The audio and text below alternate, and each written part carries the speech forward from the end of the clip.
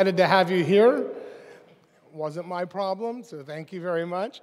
Delighted to have you here, and we're going to sit in silence for a moment and hear the prelude from Eldon, and then we'll begin our worship. Welcome. Glad to have you here. And if you're watching online, glad to have you here. We hope you'll check in, give us your name and where you're watching from, and that way we can see in the comments who we're hitting uh, across our fine valley and hopefully across the country. So, welcome and good morning.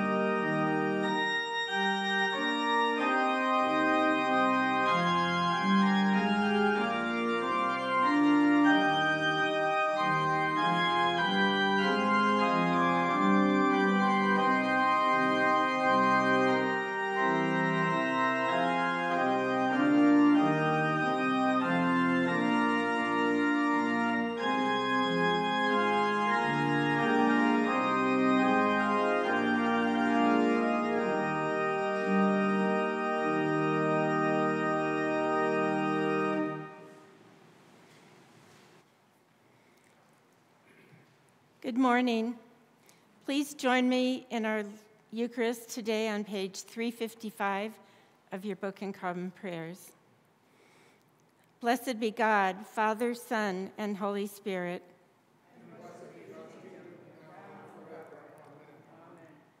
Almighty God, to you all hearts are open, all desires known, and from you no secrets are hid. Cleanse the thoughts of our hearts by the inspiration of your Holy Spirit that we may perfectly love you and worthily magnify your holy name through Christ our Lord. Amen.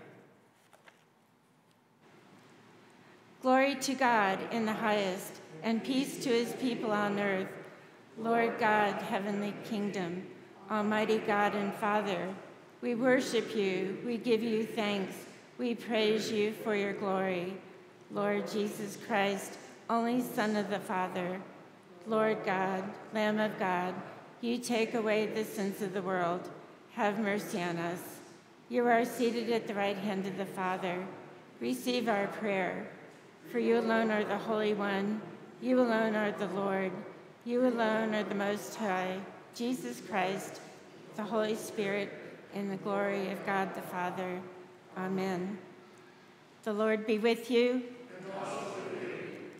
O God, you declared your almighty power chiefly in showing mercy and pity. Grant us the fullness of your grace, that we, running to obtain your promises, may become partakers of your heavenly treasure. Through Jesus Christ our Lord, who lives and reigns with you in the Holy Spirit, one God, forever and ever. Amen. Please be seated for the readings.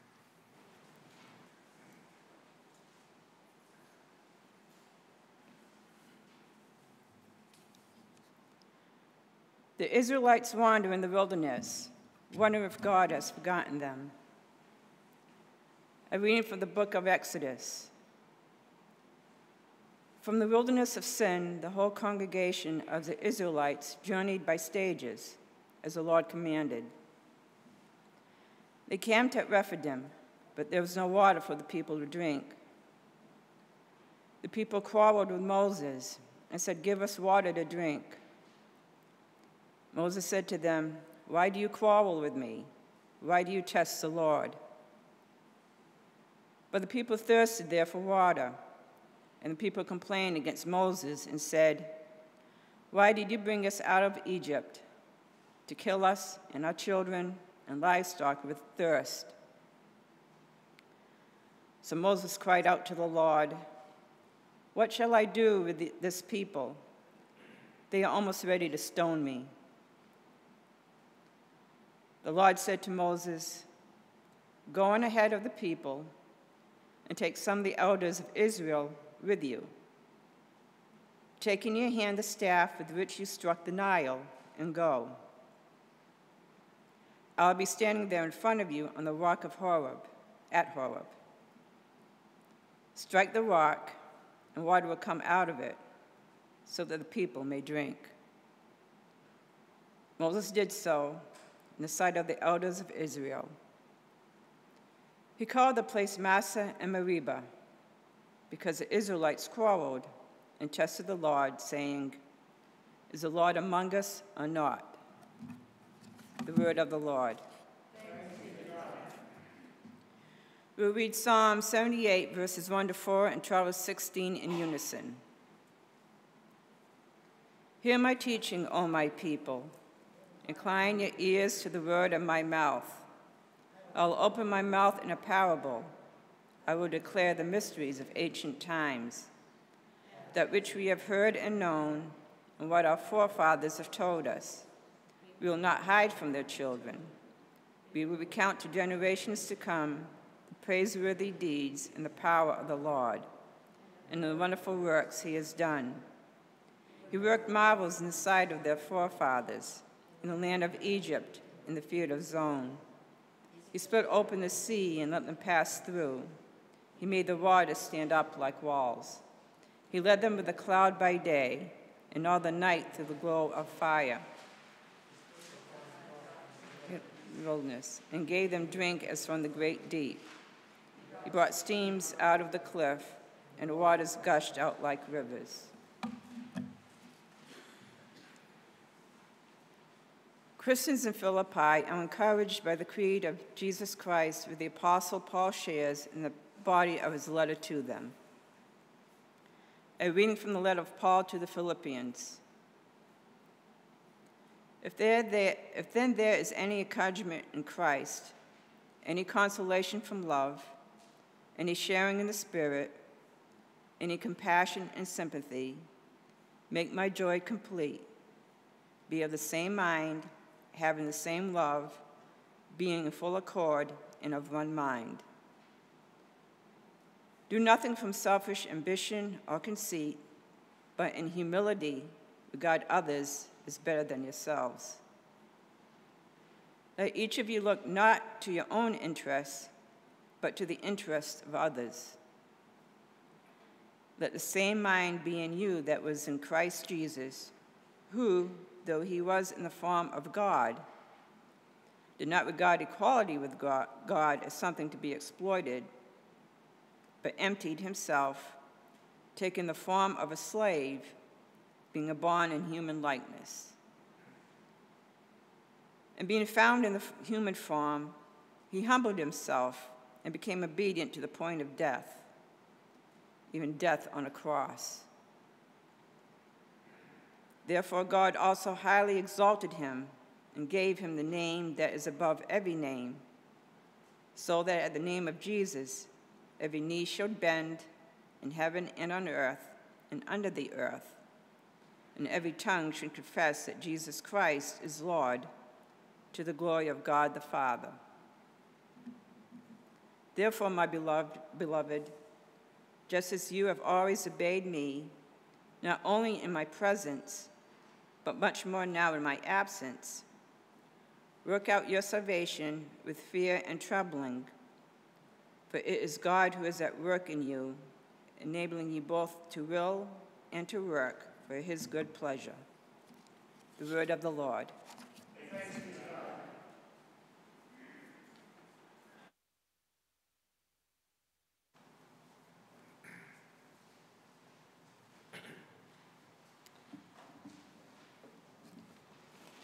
The Holy Gospel of our Lord Jesus Christ, according to Matthew. Glory, Glory to you, Lord. Lord when Jesus entered the temple, the chief priests and the elders of the people came to him as he was teaching and said, By what authority are you doing these things, and who gave you this authority? Jesus said to them, I will also ask you one question, and if you tell me the answer, then I will also tell you by what authority I do these things. Did the baptism of John come from heaven, or was it of human origin? And they argued with one another. If we say from heaven, he will say to us, Why then did you not believe him? But if we say of human origin, we are afraid of the crowd, for all regard John as a prophet. So they answered Jesus, We do not know. And he said to them, Neither will I tell you by what authority I am doing these things. What do you think? A man had two sons. He went to the first and said, Son, go and work in the, the vineyard today. And he answered, I will not. But later he changed his mind and went. The father went to the second son and said the same. And he answered, I go, sir. But he did not go. Which of the two did the will of their father? They said, The first. Jesus said to them, Truly I tell you, the tax collectors and the prostitutes are going into the kingdom of God ahead of you. For John came to you in the way of righteousness, and you did not believe him. But the tax collectors and the prostitutes believed him, and even after you saw it, you did not change your minds and believe him. The Gospel of the Lord. Praise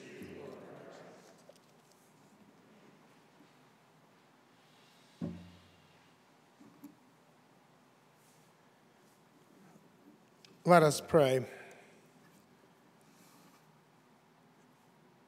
Eternal God, you are the light of the minds that know you, the joy of the hearts that love you, and the strength of the wills that serve you. Grant us so to know you that we may truly love you, and so to love you that we may truly serve you, whose service is perfect freedom, through Jesus Christ our Savior. Amen.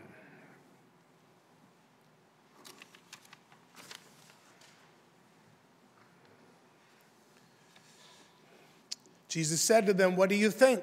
A man had two sons. He went to the first and said, Son, go and work in the vineyard today. He answered, I will not. But later he changed his mind and went. And the father went to the second and said the same. And he answered, I go, sir, but did not go. Which of the two did the will of the Father? Before we internally align or assign our personal attitudes and or behavior with one or the other of these two boys, let us recognize that neither of these sons actually acted admirably in the story that Jesus tells. The first son, who initially refused to work in the vineyard, did not act admirably because he disobeyed his father publicly, thereby shaming his father in front of his neighbors and peers and employees. To disregard his father so lightly in that culture amounts to a form of character assassination. Actually, the son and the father both would have been regarded with contempt for the son, the son for acting the way he did, and the father for allowing such insolent and insulting behavior. The second son, and we presume the younger, because in that culture the father would have asked the older son to work first. The second son assures the father, Oh, he will do as he asks. He will work in the vineyard but then fails to go. We don't know why he doesn't go. We just know that he does not do what he promised his father he would do. So he lies to his father, perhaps shaming him privately. You see, if the father, and he most likely did, have other laborers in the vineyard, they certainly would have known about the failed promise of the second son, and the vineyard would have been abuzz with gossip. A lying son and a father who lets him get away with it. So we can clearly see that neither of these youth acted admirably here. The parable praises neither son. But something we didn't hear read in the gospel this morning is that while Jesus is telling this story, he is physically located in the temple, teaching any and all who would listen. Typically, that meant large crowds would have been gathered around a seated Jesus. And also in the temple would be the chief priests and elders of the nation. This would have included scribes, those are the Hebrew scripture scholars of that time, and the Pharisees and Sadducees, members of the Sanhedrin, the ruling council of the Judean people. A little more powerful than an HOA. These religious leaders are the listeners to whom Jesus asks, What do you think? Not just the people he was teaching. Step back for a moment. Have you ever noticed that in in the gospel, Jesus rarely has trouble with sinners. His trouble usually comes from the religious leaders of his own religion, people who, by their status and position, thought they were above others in God's economy of salvation. They looked down on people they considered as less pious and more sinful than themselves. In the minds of the religious leaders, they didn't need to respond to the preaching of John the Baptist, for they considered themselves as already having their ticket punched to the kingdom of heaven, so to speak. But Jesus tells these religious leaders that tax collectors and prostitutes, two of the worst type of sinners imaginable in that day, were indeed heading into the kingdom of God before they were because of their self righteous refusal to respond to God's call in the preaching of John the Baptist. Once again, in today's gospel lesson, the writer reinforces a point made earlier in Matthew in the seventh chapter during the Sermon on the Mount. There, Jesus said, Not everyone who says to me, Lord, Lord, will enter the kingdom of heaven, but only the one who does the will of my Father in heaven. End quote. Apparently, just being friendly with Jesus to the point that we feel comfortable enough to call him Lord or Sir, as the Greek word gets rendered in today's text, isn't a guaranteed ticket into the kingdom of God. But doing the will of the Father, doing what God asks us to do, that is definitive proof of what you speak, says Jesus in today's lesson. It's one thing to say the right words, Acting on them is another thing entirely. Let me ask you do you know about or remember the Whiskey Priest, the main character in Graham Greene's wonderful little novel, The Power and the Glory? Any of you remember that character? Wonderful book. It's okay, I'll tell you how it goes. This Catholic priest is desperately hiding from the Mexican authorities during the 1940s in this particular state in Mexico where their church has been outlawed completely. The police are giving all the priests that they find the choice between the firing squad or holy matrimony.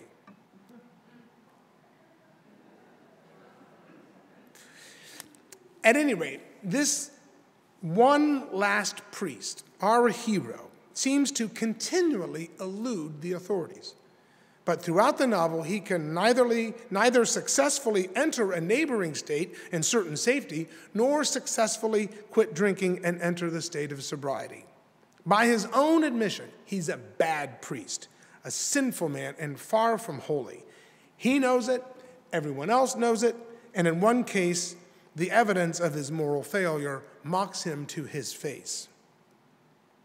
Some villagers are even dying because of him, taken as hostages and being shot by the police for refusing to give him up so they can still secretly have access to the sacraments of the church. And these firing squad deaths of peasants add even more guilt and pain to his drunken brokenness. And yet, at several points in the story, when the opportunity to save himself opens before him like a path, the whiskey priest refuses to walk down it because duty calls. Someone needs the services of a priest. And he believes that, bad priest or not, he is still a priest, called and set apart to serve others in God's name. And so he goes, and he blesses, and he baptizes, and he celebrates Mass in secret, praying all the while that God neither save nor spare him, but rather save those whom he serves. In effect, The whiskey priest says, No, I will not, to the outward life of righteousness and moral behavior, but in fact begets true righteousness as he exercises his ministry, helping others pursue the righteousness of God in the difficult times of persecution. For it is one thing to say the right words, quite another thing to live them. In this day and age, in, I'm sorry, in his day and age, for Jesus to say that tax collectors and prostitutes would enter the kingdom of God before the religious leaders of his nation would have been an overwhelmingly offensive thing to, thing to say to the chief priests and scribes and elders. Blasphemous at the least, scandalous, and risky beyond doubt. You know, such a statement might have even shaken the credibility of Jesus and his message in some people's minds. And yet, can you imagine Jesus pausing to consider what other people might think of him or his actions over and above doing the will of his Father in heaven? No, I don't think so. Sisters and brothers, the things we perceive that hold us back from living boldly in Jesus' name, the thoughts and fears that restrain us from doing what the Father calls us to do, all pass away the moment we count them as nothing compared to the life that is to come and can be lived now. Let me explain my reasoning. Since 1990, I have become widely read in the field of near death experiences. These are events wherein a person dies, has an experience of leaving their body and going into a spiritual plane of existence. They call these NDEs. Many people meet Jesus or other heavenly beings, and then, usually, against their own wishes, they are told to return to this life because they still have things to complete. And immediately, they find themselves back in their body that they'd left only moments or minutes ago, although sometimes it seems like they've been gone for hours, days, or weeks. One other common characteristic of an NDE is that people often go through a life review wherein they take a look at their entire life in a matter of moments. Now, some people might equate this with the final appearance before the great judgment seat of Christ, but that is not the case. Life reviews typically are not a negative experience.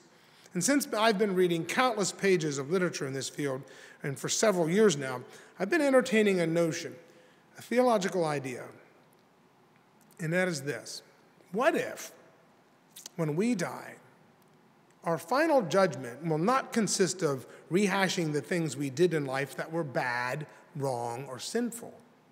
You know, the stuff that already keeps us from loving ourselves and thereby loving God and loving neighbor fully and confidently. But what if our final judgment will consist of looking at the things we might have done but didn't? where perhaps we could have made a huge difference, but out of fear of what somebody else might think, we chose not to act or speak up or give generously of our time or money.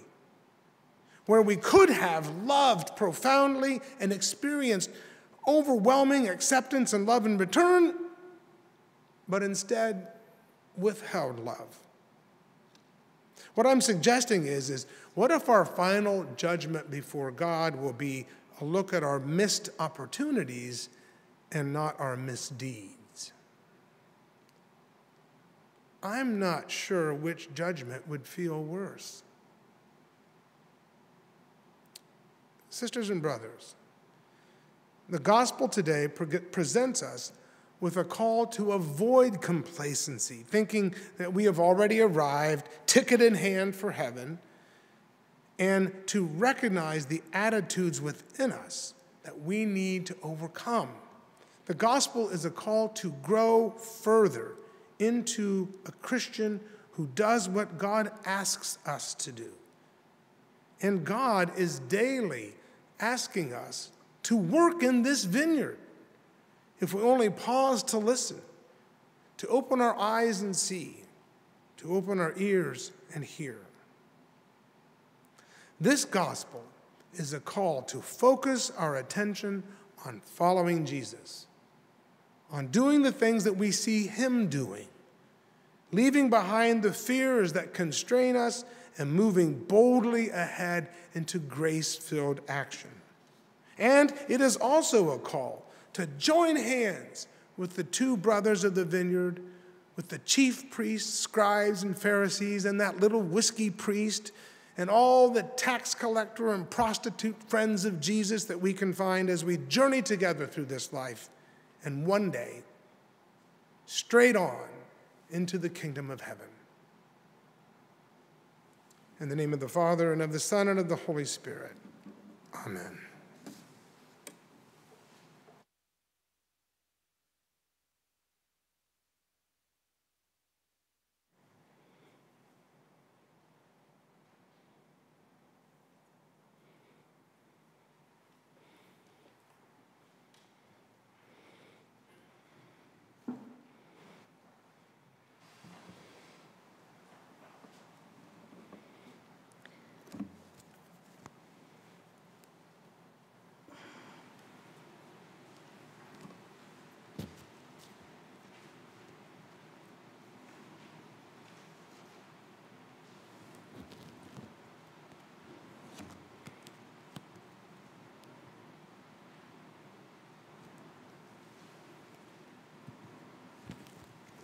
Brothers and sisters, it is only when we love one another that we can truly say, We believe in one God, the Father, the Almighty, maker of heaven and earth, of all that is seen and unseen. We believe in one Lord Jesus Christ, the only Son of God, eternally begotten of the Father, God from God, light from light, true God from true God, begotten, not made of one being with the Father. Through him all things were made. For us and for our salvation, he came from heaven. By the power of the Holy Spirit, he became incarnate from the Virgin Mary and was made man. For our sake, he was crucified under Pontius Pilate. He suffered death and was buried. On the third day, he rose again, in accordance with the Scriptures. He ascended to heaven and is seen at the right hand of the Father. He will come again in glory to judge the living and the dead, and his kingdom will have no end. We believe in the Holy Spirit, the Lord, the giver of life, who proceeds from the Father and the Son. With the Father and the Son he is worshipped and glorified. He has spoken through the prophets. We believe in one holy, Catholic, and Apostolic Church. We acknowledge one baptism for the forgiveness of sins. We look for the resurrection of the dead and the life of the world to come. Amen.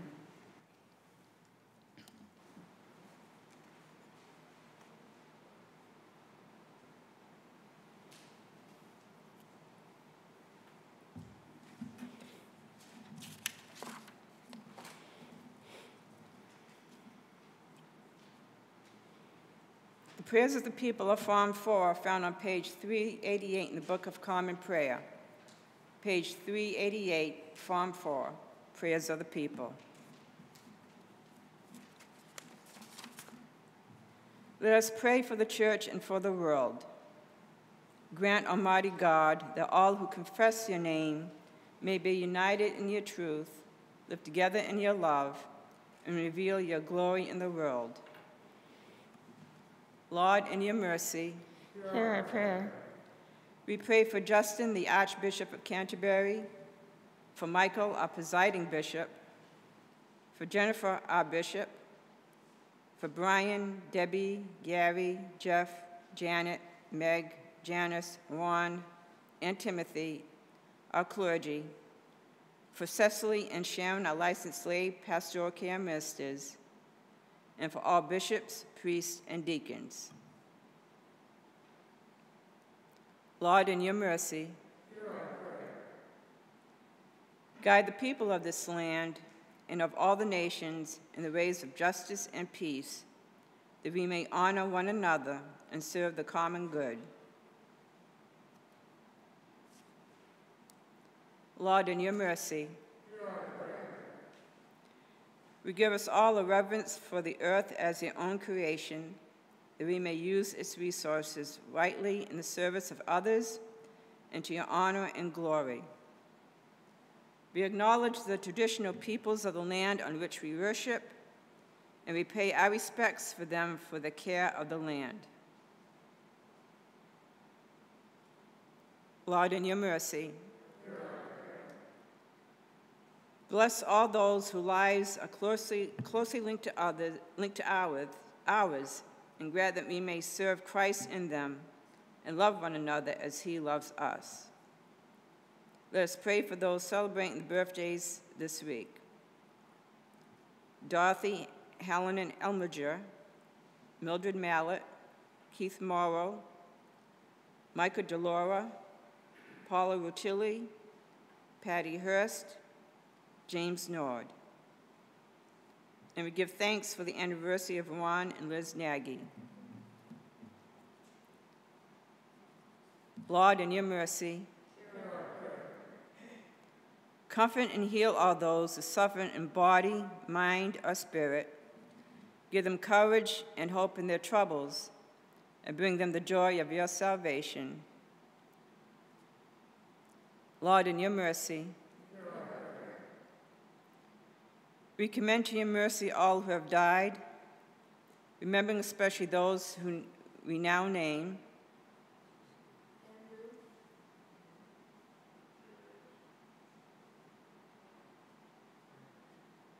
that your will for them may be fulfilled. And we pray that we may share with, the, with all your saints in your eternal kingdom.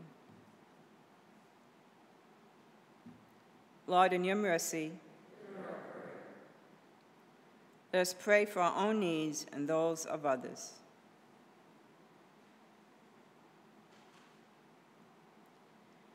We pray for all guests today that are joining us online that they might experience a warm welcome and encounter God's love and peace in our worship. For all the people on our parish prayer list and those dear to us whom we now name either silently or aloud.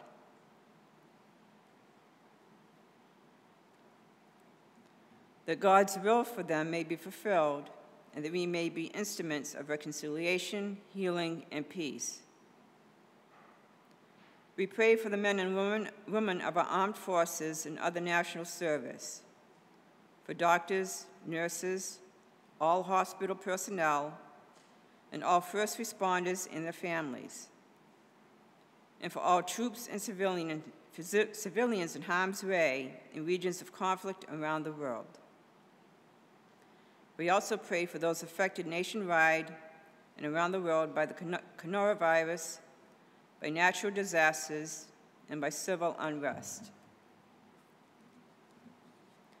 We pray for our companion diocese, the Episcopal Church in Navajo Land, Bishop David Bailey, for All Saints Episcopal Church, Farmington, New Mexico. In our diocese, we pray for the life, work, and ministry of Trinity Episcopal Church, Kingman.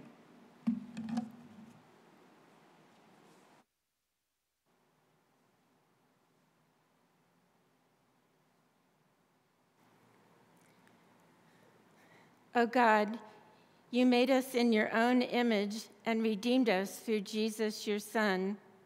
Look with compassion upon the whole human family. Take away the arrogance and hatred which infect our hearts. Break down the walls that separate us.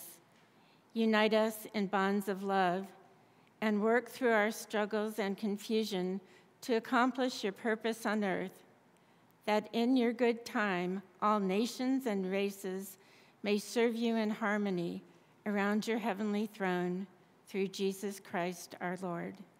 Amen. Amen.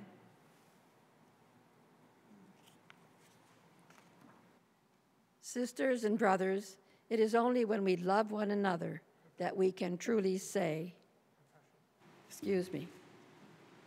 Let us confess our sins against God and our neighbor. We confess that we have sinned against you in thought, word, and deed, by what we have done and by what we have left undone. We have not loved you with our whole heart. We have not loved our neighbors as ourselves. We are truly sorry and we humbly repent. for the sake of your Son, Jesus Christ, have mercy on us and forgive us, that we may delight in your will and walk in your ways to the glory of your name. Amen. Almighty God, have mercy on you, forgive you all your sins through our Lord Jesus Christ, strengthen you in all goodness, and by the power of the Holy Spirit, keep you in eternal life. Now may the peace of the Lord be always with you.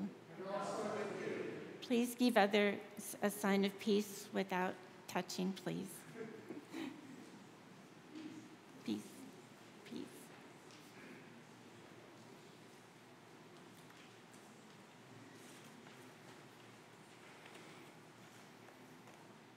The peace of the Lord be always with you. I'm going to take my mask off. Please be seated. So, again, welcome. Glad to have you all here. I think we're a full house, right, Pat? We got 44, okay, plus with us, that's, that's, that's everybody. Okay, great. Um, what's the future look like? The next possible thing would be we're in what the diocese calls phase two. That's what is allowing 50 people to be at worship. If they go to phase 2.5, and I'm not making that up, it really is phase, phase 2.5, I think they'll let us have 100 people in here but we still have to spread out. And I think we can do that if we are careful. We've got a way to sit you staggered in rows so that you would theoretically be six feet apart from each other. Even if you may be in a row behind somebody, you won't be immediately behind somebody, you'll be six feet down the row. So stay tuned for that excitement. but, uh, but that would be great if we could have 100 people. That'd be excellent. So um, we're glad that you're here. We're glad that you're watching if you are watching. Uh, as I said, for communion, um, the ushers are going to, I think we said they're going to come out this side and this side, right? And kind of circle around that way, Pat? Yeah. So this side will be dismissed on, they'll be myself. guided to the altar rail from the center aisle, this side from the side aisle. Okay? And also, uh, after doing last week's dismissal, we decided that um, you let the ushers dismiss you from the end of each pew and you can just go out the nearest door. So you on this side, please go out the east door and then you guys on this side can go out the west door. Just to make it a little, there was a bit of a bottleneck, and we think we can do that without any difficulty. Um, the one thing we can't do is just congregate outside and have good old fashioned coffee hour. Well, by the way, though, on, on think on 2.5, they're going to let us have some form of coffee refreshment um, so stay tuned. That could be exciting, and hopefully that'll happen within the near future. Kathy Shires is ready to make food for you all again. I, I can wait. I can't wait for the bacon. She makes the best. She, you had bacon today? I'll be right over. I'll be right over. I have vestry. I could use a snack before vestry, but I digress. At any rate, so communion, let the usher come and get you. Again, um, you just don't go up there when somebody else is up there and just circle back around. We ask you too to keep the bread in your hand till you get back to your seat and then lift your mask and take the bread so you're not pausing right there to commune, uh, to take, to consume the bread. Um, and then for the benefit of the people who are watching at home, we thank you for watching. We'll do the prayer of spiritual communion, followed by the actual post communion prayer for those of us who were able to receive. So um, Meg Lewis will be over here giving communion. Deacon Meg, I'll be over there, and Janice will take care of gluten free. If you need a gluten free, just come right here, and Janice will let you pick one out of the ciborium. I don't think there's anything else. Eldon, we're grateful you're here to play uh, opening music and anthem here right now, a little music here at communion, so thank you for that. Always delighted to have Eldon. He's been amazing during this whole thing, Wednesday night and stuff. Yes, I think we should uh, thank Eldon. So.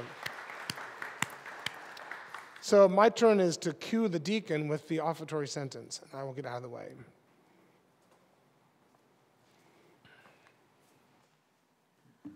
Let us offer our gifts as seeds. May we plant and water them with God's help. May God's grace yield a harvest of a new life for each of us.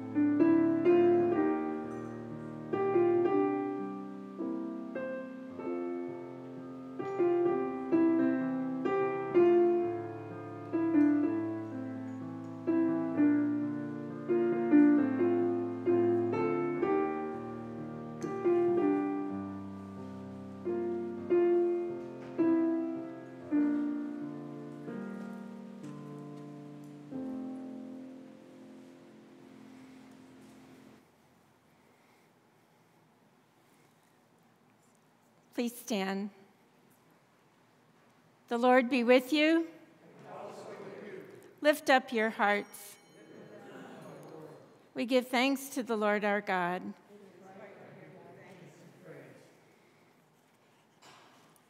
It is right and good and a joyful thing, always and everywhere, to give thanks to you, Father Almighty, creator of heaven and earth. For you are the source of light and life. You made us in your image and called us into a new life in Jesus Christ our Lord. Amen. Therefore, we praise you, joining our voices with angels and archangels, and with all the company of heaven who forever sing this hymn to proclaim the glory of your name. Holy, holy, holy, holy God, God of power and might, heaven and earth are full of your glory. Hosanna in the highest. Blessed is he who comes in the name of the Lord. Hosanna in the highest. Holy and gracious Father, in your infinite love, you made us for yourself and when we had fallen into sin and become subject to evil and death, you in your mercy sent Jesus Christ, your only and eternal Son, to share our human nature, to live and die as one of us, to reconcile us to you, the God and Father of all. He stretched out his arms upon the cross and offered himself in obedience to your will, a perfect sacrifice for the whole world. On the night he was handed over to suffering and death, our Lord Jesus Christ took bread.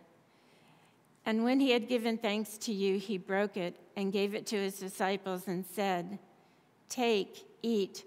This is my body, which is given for you. Do this for the remembrance of me.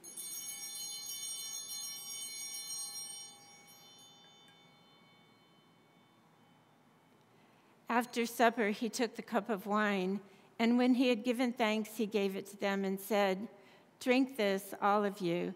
This is the blood of the new covenant, which is shed for you and for many for the forgiveness of sins. Whenever you drink it, do this for the remembrance of me.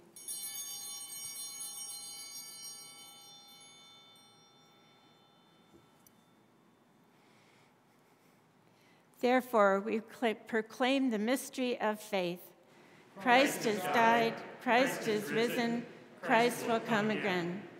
We celebrate the memorial of our redemption, O Father, in this sacrifice of praise and thanksgiving.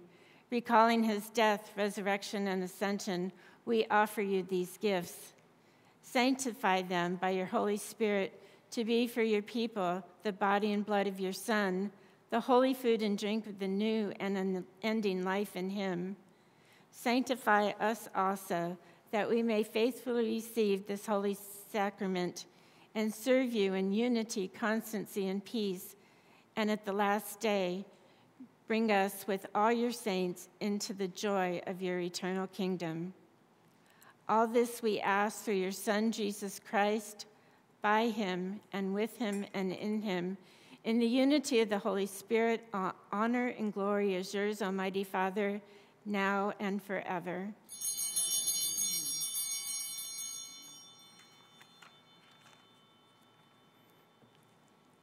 And now, as our Savior Christ has taught us, we are bold to say, Father who art in heaven, hallowed be thy name.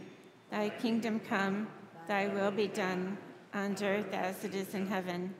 Give us this day our daily bread, and forgive us our trespasses as we forgive those who trespass against us.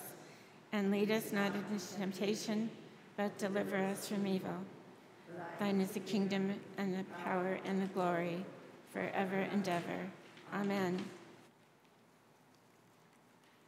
Alleluia. Christ, our Passover, is sacrificed for us. Therefore, let us keep the feast. Alleluia.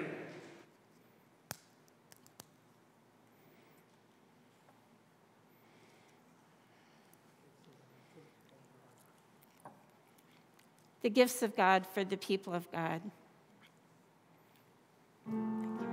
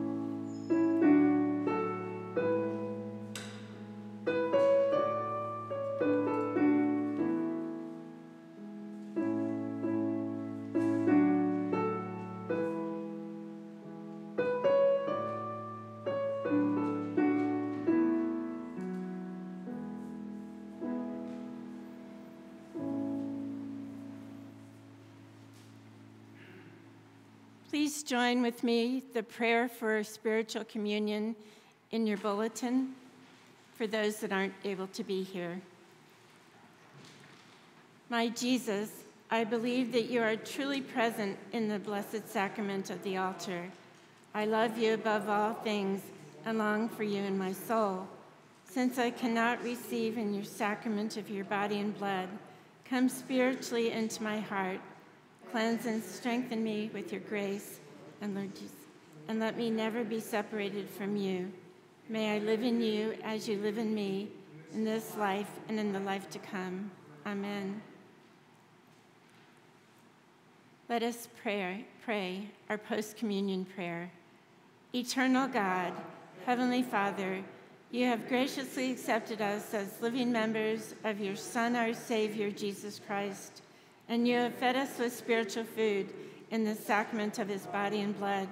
Send us now into the world in peace and grant us courage to love and serve you with gladness and singleness of heart through Christ our Lord. Amen. And now may the fire of Christ consume you in all indifference toward God.